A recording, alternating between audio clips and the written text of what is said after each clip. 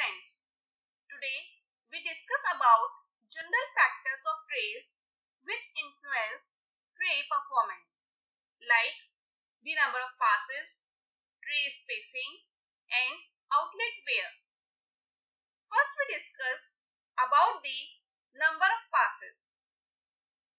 Tray liquid may be split into two or more flow passes to reduce tray liquid load, say QL.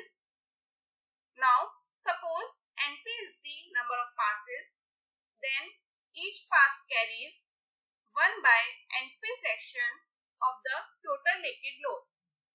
For example, 1 by 4 in 4 pass trays.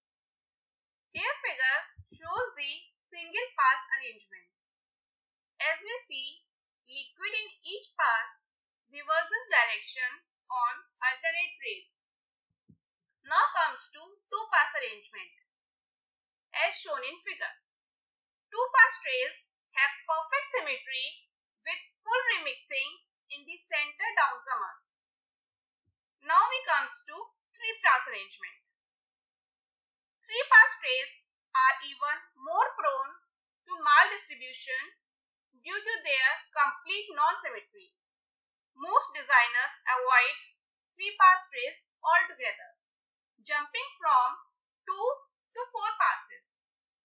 Trays smaller than 1.5 meter diameter seldom use more than a single pass. Those with 1.5 to 3 meter diameter seldom use more than 2 passes. Next we comes to 4 pass arrangement. 4 pass trays are symmetric along the center line but the side and the central passes are non-symmetric.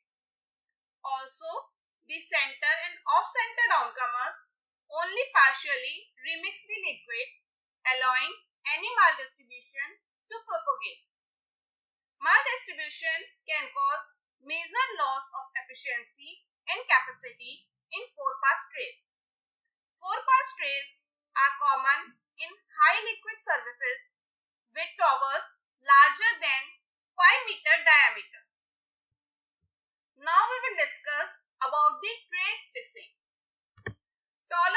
Between successive trays raises capacity, leading to a smaller tower diameter, but also raises tower height.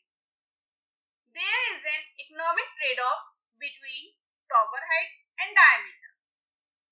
As long as the trade-off exists, tray spacing has little effect on tower economics and is said to provide adequate access. In towers with larger than 1.5 meter diameter, tray spacing is typically 600 millimeter, which is large enough to permit a worker to crawl between trays. However, in very large towers, whose diameter is greater than 6 meter, tray spacing of 750 mm are often used.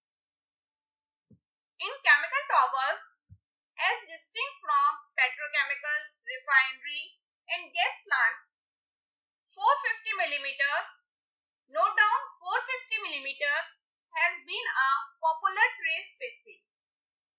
With towers smaller than 1.5 meter, tower walls are reachable from the manway. There is no need to crawl and it becomes difficult to support thin and tall columns. So, smaller tray spacing typically 380 to 450 mm is favored. However, towers taller than 50 meter also favor small tray spacing that is 400 to 450 millimeter. Finally, it comes to cryogenic towers. Cryogenic towers enclosed in cold boxes favor very small spacing as small as 150 to 200 millimeter to minimize the size of the cold box. Now comes to outlet weir. Why we use outlet weir in any column?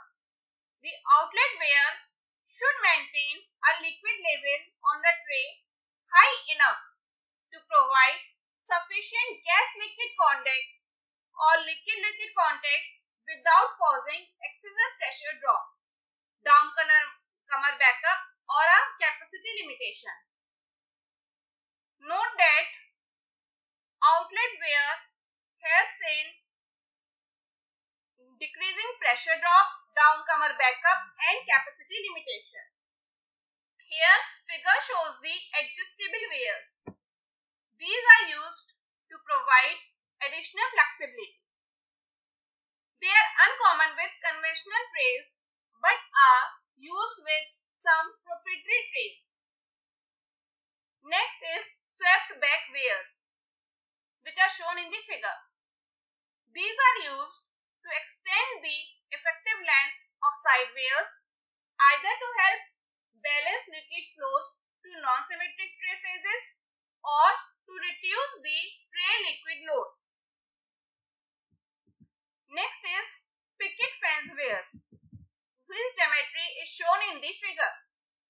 These are used to shorten the effective length of a weir either to help balance multipass trays liquid flows.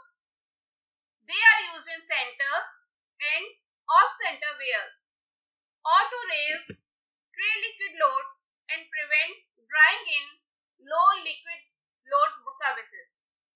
To be effective, the pickets need to be tall, typically around 300 to 400 mm above the top of.